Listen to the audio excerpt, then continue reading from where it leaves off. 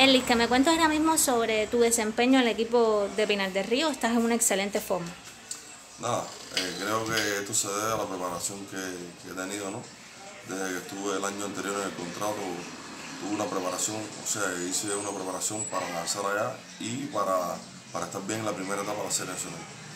Y creo que, ha salido fruto, que lo he logrado, ¿no? Una preparación intensa, luego tiempo allá y cuando regresé aquí, la primera parte también.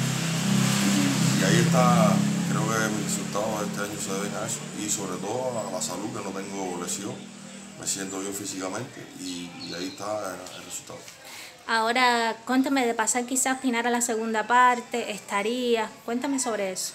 Bueno, eh, no sé, no sé, creo que no debo estar, si Pinar de Río ya por fin clasifica los playoffs, no debo estar en, los playoffs porque eh, que se pueda resolver el tema del visado, que es lo que, lo que todavía no se ha concretado para yo asistir a mi contrato, pero creo que en todo este tiempo he ayudado bastante al equipo y espero que los muchachos sigan haciendo fuerza y sigan metiendo ganas para, clasificar y, tener un buen rendimiento si es que clasificamos los playoffs.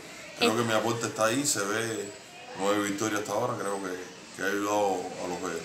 ¿Estás de acuerdo con la serie selectiva que quieren implementar?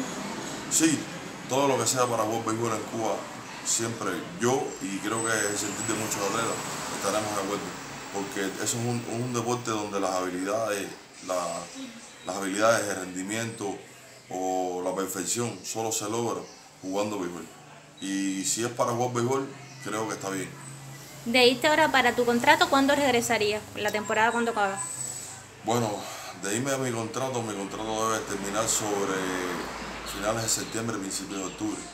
Creo que ahí es la fecha límite del contrato, o sea, lo que va a durar el campeonato, incluyendo los playoffs, y ya después regresaría todavía acá a Cuba, ¿no?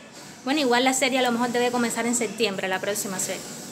Sí, que he escuchado algo de eso, incluso creo que se ha manejado fechas un poco más, como se jugaba antes, eh, finales, principios de noviembre, a mitad de noviembre que siempre se comenzaba sobre esa fecha, por eso jugar a, era béisbol de invierno, ¿no?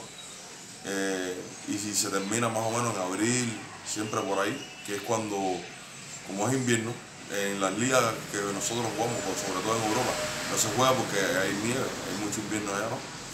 Y terminándose la serie en abril, ya estaríamos listos para asistir a los contratos, no solo en, Europa, sino generalmente en otras ligas que también juegan sobre ese, ese calendario o ese, o ese dado.